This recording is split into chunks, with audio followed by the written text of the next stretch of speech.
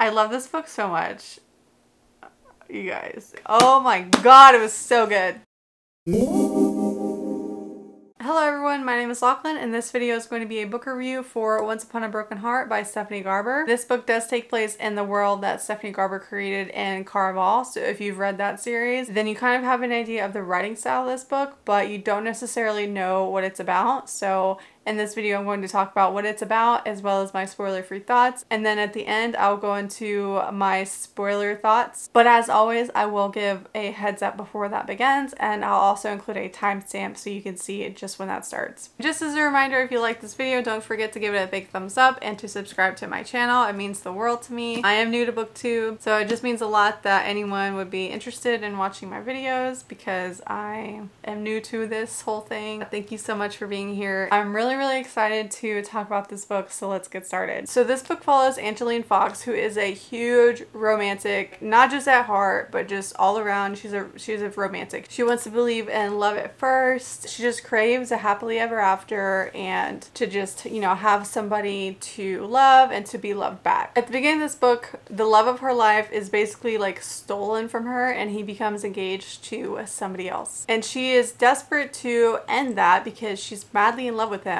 and doesn't want him to marry anybody else, obviously. Like, who would want that? So she makes a deal with Jacks, and if you read Caraval, then you're familiar with who that is. So she makes a deal with him to end that wedding. In exchange for him helping her end, you know, her ex-fiance's wedding, he basically tells her, like, you have to kiss through other people whenever I tell you to. And she's like, that's so weird, but okay, like, deal. But after she makes the deal with him, she kind of realizes, like, oh, maybe this wasn't the best idea. I shouldn't be making bargains with a fate, but it is what it is. Like I've already done it and low key regret it, but like let's just move on and figure out what to do.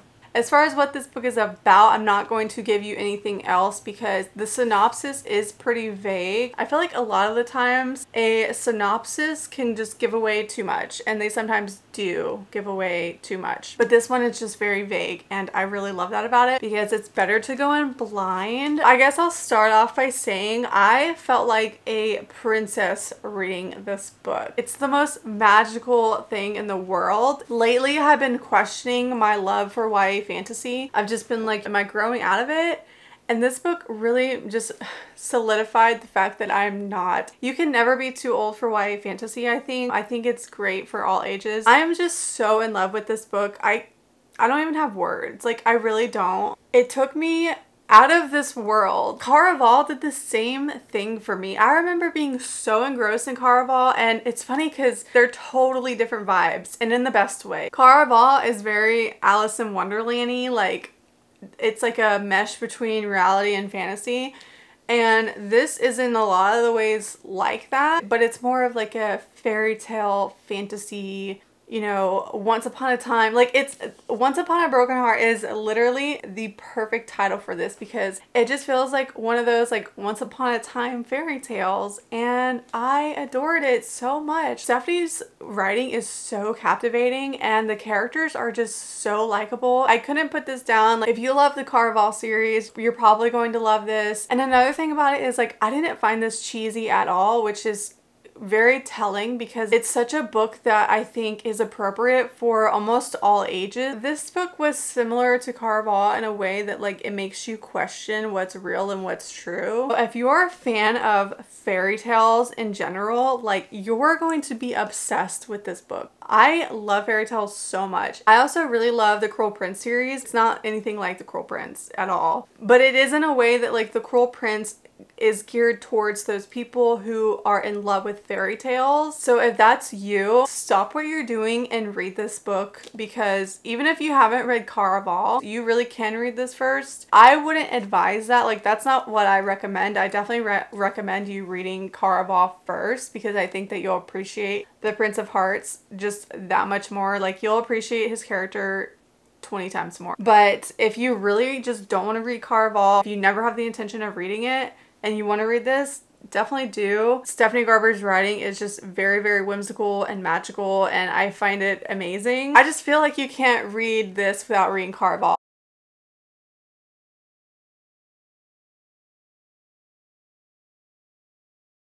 I also really love the scenery in this book. I mean, I can go on for days about Stephanie Garber's writing. It is just so magical. I really, really liked Evangeline. I just thought she was so smart. Like, she was very self-aware. This is third person, but I loved following her so much. Like, I loved being in her head in a sense because even though it is third person, like, you're still you know, very much in their head with the narrator. But yeah, I don't know. I just, I loved it. If I had anything negative to say, it'd be the freaking cliffhanger.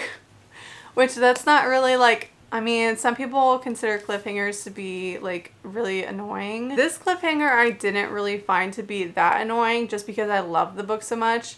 But if I am not loving a book and there's also a cliffhanger, then I just get annoyed. If I'm starting a series and I'm not like fully in love with it, I won't really want to read the next book. The first book in a series is really telling to me.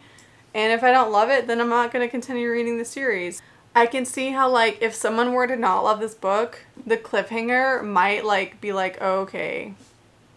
But I don't know, I just think that for a first in a series, I think it was really wrapped up. Like there was a lot of things that I don't know. I I was worried that wasn't going to get tied up and I was like, okay, that got tied up, so that's great. But there are a lot of questions that you have after this. Like I have so many questions and I'm very concerned. I mean, not so much as concerned as I am like what is life? Like, what is happening? Because Stephanie just really makes you question the truth and facts. Another thing is, this book was filled with plot twists. Stephanie just took me by surprise so many times. There were maybe like one or two things that were pretty predictable, but like overall, I wasn't disappointed at all. This book exceeded my expectations 100%. And I had really high expectations. It's more like a suspenseful fairy tale story than anything. So if that appeals to you, just stop what you're doing and read this. Like, I'm telling you, it's so good. Uh, with that said, I think I'm going to discuss spoilers now because there are just a few things that I need to talk about that I was not prepared for when I read this book and I'm going to talk about them now. So if you haven't read this book, definitely read it and then come back and we can discuss it. I'm going to talk about spoilers now, so here's your warning. So I didn't mention this in the spoiler free section because I do consider this a spoiler. The fact that it even has vampires in it, I had no idea that this was going to contain vampires.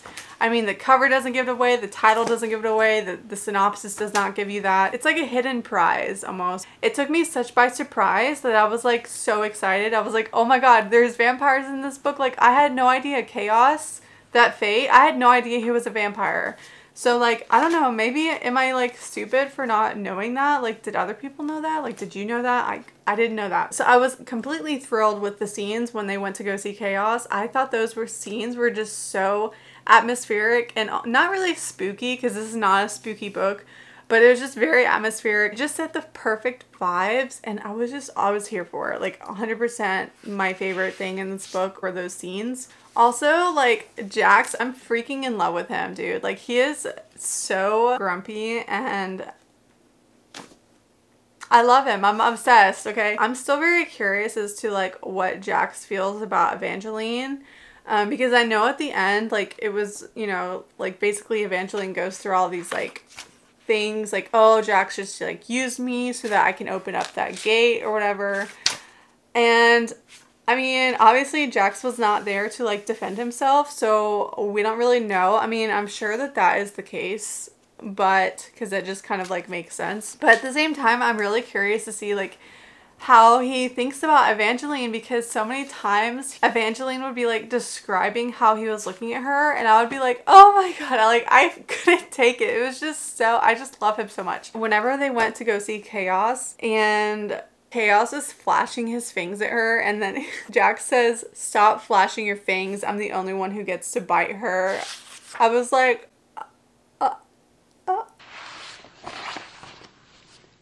I'm here for Jacks. This book gave me everything that I wanted. Oh, and then, dude, whenever he was freaking bit and like was about to turn into a vampire or whatever, I was getting so stressed out because I was like, okay, one, I didn't see that coming. Like, I didn't think he was going to be bitten. And I was like, no, I don't want him to turn into a vampire. Like, it's Jacks. He can't be a vampire. And then obviously, like, he didn't turn into a vampire, which I was happy about. He was, like, so close to biting her.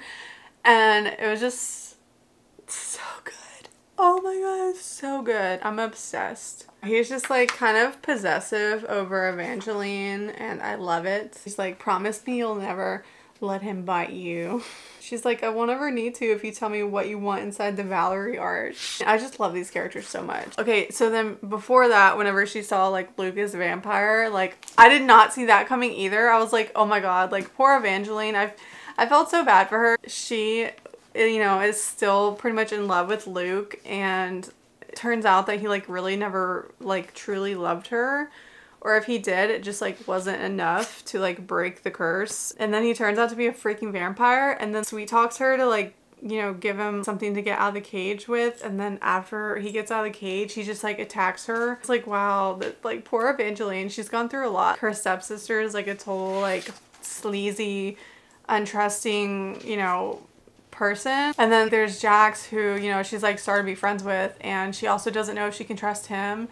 And like Luc, like the love of her life, she's like trying to help him and then like he's just like ah, like obviously you know he just was talking to her so that she would let him out of the ca- like the cage I almost said kennel the whole like evangeline and jacks dynamic was just so good um, like on page 312 when he's like evangeline stop looking at me like that you're making it this much more difficult Jack spoke between clenched teeth i'm obsessed with his character like truly truly obsessed and there's not even a ton of romance in this book. I loved it when they were like talking about their personal stuff. They were almost having like a heart to heart and he starts talking about Donatella and he's like, she's not the kind of girl you sing about. And um, Evangeline is like, oh, like, mm, so we also have Marisol who like we, I definitely like didn't trust her the entire time. But Marisol is a complicated character too because her mother has basically verbally abused her in her entire life. So she's like turned into like this kind of like messed up, you know, flawed character. So this is on page 347 and Evangeline says, Evangeline believed in love and fairy tales and happy endings because that was what her parents had taught her. But Agnes told Marisol that she was unattractive and unwanted. Was that why she had done all of this? And I put a blue tab there because that to me was so sad because it's just kind of like, it's so true. Parents can really shape the outlook on a person. So like if your parents, you know, tell you that like you're never amount to anything, then you'll probably grow up thinking that you'll never amount to anything and it'll probably take you into adulthood to realize that that's not true. But if parents shape a child into thinking that the world is a great place and you know they're so beautiful and like lovely or whatever then that child could grow up thinking like very naively and not realizing like the atrocities in the world. So it's just like crazy because like evangeline was just very like hopeful and just wanted to fall in love and just had this very kind of like positive naive outlook. And then there's marisol who's like got the basically the opposite and Marisol is like we don't all get to be happy and it's just like a very sad thing and so I got I couldn't hate Marisol. I think she was a flawed, complex character. I think she could have been a little bit more developed, but just for the sake of the story, I think she like her character was perfect and I don't have any complaints about it. But it's just not shocking to me that she did what she did because her mother literally told her her entire life that she was ugly and that she would never like find someone that loved her. And so like why else? I don't know. I don't really blame Marisol. I mean I I don't agree with what she did but I'm also just like I can't hate her for it. I you know what? I take that back. I did end up hating Marisol. So they were kind of like having a heart to heart. It was not really heart to heart but like Marisol basically confessed that she you know bewitched Luc. And Evangeline could have been like, oh, you know what? I hate you so much. Like, I can't ever, like, forgive you for that. But she didn't. And then so Evangeline, like, came clean to Marisol. And then Marisol immediately was like, so angry and was like, you believe, you let me believe that I was cursed. And then, like, yelled at the guards to come get her. I was so pissed. So, you know what? I take it back. I really, like, was like, you know what? Screw you, Marisol. Like, you're petty for that. Like, I don't care how bad of a childhood somebody has had you know, it comes to a point where they accept responsibility for being a shitty person. I don't know. I just think Marisol is just like kind of a shitty person. So at the end, whenever it was revealed that Apollo was alive, I didn't see that coming. A lot of this I didn't see coming. The whole Tiberius thing I kind of saw coming. But the thing is, is like, do we even know? Because Jacks, wasn't Jacks the one that poisoned Apollo? Because like Tiberius kind of admits to it. I don't know, the whole ending to this book was just, it just made me question everything. I was like, wait, so like, did Tiberius or, and I know like Evangeline, uh, like the last page on page 402, she basically like kind of blames everything on Jacks, but I don't know. Like it says like Jacks was not her friend, but he taught her that she could open any door she wanted. I, I, think that he was her friend. Like, I think, like, oh my god, I'm so excited for the next book. And it's killing me the fact that, like, this book was just released. Who knows how long we're going to have to wait. But, like, oh my god, it was so good. If you have read this book, can we talk about it? Please. Like, what do you think?